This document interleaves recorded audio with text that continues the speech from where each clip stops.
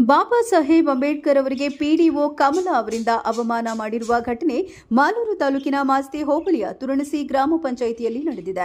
ಹದಿನಾಲ್ಕು ನಾಲ್ಕು ಎರಡು ಸಾವಿರದ ಇಪ್ಪತ್ನಾಲ್ಕರಂದು ಬಾಬಾ ಸಾಹೇಬ್ರ ನೂರ ಮೂವತ್ಮೂರನೇ ಜಯಂತಿಯ ಪ್ರಯುಕ್ತ ಬಾಬಾ ಸಾಹೇಬ್ರು ಬೌದ್ಧ ಧರ್ಮ ಸ್ವೀಕರಿಸಿದ್ದನ್ನ ಮರೆತು ಹಿಂದೂ ಧರ್ಮದ ಆಚಾರದಂತೆ ಅರಿಶಿನ ಕುಂಕುಮವನ್ನಿಟ್ಟು ಊದುಬತ್ತಿಗಳನ್ನು ಹಚ್ಚಿ ದೀಪ ಆರತಿಯನ್ನ ಬೆಳಗಿ ದಲಿತ ಸಮುದಾಯದ ಅಧಿಕಾರಿ ಪಿಡಿಒ ಕಮಲ ಕಾಲಲ್ಲಿ ಚಪ್ಪಲಿಯನ್ನ ತೆಗೆದದೆ ಆಚರಣೆ ಮಾಡಿದ್ದಾರೆ. ಬಾಬಾ ಸಾಹೇಬರ ಸಿದ್ಧಾಂತಕ್ಕೆ ತತ್ವ ಆದರ್ಶಗಳಿಗೆ ಅವಮಾನ ಮಾಡಿದ್ದಾರೆ.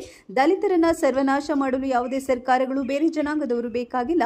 ನಮ್ಮಲ್ಲೇ ಇರುವ ಕೆಲವು ದಲಿತ ರಾಜಕೀಯ ನಾಯಕರು, ದಲಿತ ಅಧಿಕಾರಿಗಳು, ಕೆಲವೇ ಕೆಲವು ಸ್ವಾರ್ಥ ಸಂಘಟನೆ ನಾಯಕರೇ ಸಾಕು. ಈ ದೇಶದಲ್ಲಿ ದಲಿತರನ್ನ ಸರ್ವನಾಶ ಮಾಡಲು ಬಾಬಾ ಸಾಹೇಬರಿಗೆ ಅವಮಾನ ಮಾಡಲು ಬಾಬಾ ಸಾಹೇಬರಿಗೆ ಅಗೌರವ ತೋರಿಸಿದ ತುರಣಸಿ ಪಿಡಿಒ ಕಮಲಾ ಅವರ ವಿರುದ್ಧ ಇಲಾಖೆ ಹಾಗೂ ಮಾಲೂರು ತಾಲೂಕು ದಂಡಾಧಿಕಾರಿಗಳು ಕಾನೂನು ಕ್ರಮ ಜರುಗಿಸಿ ಕ್ರಿಮಿನಲ್ ಕೇಸನ್ನು ದಾಖಲಿಸಿ ಸೇವೆಯಿಂದ ವಜಾಗೊಳಿಸಬೇಕು.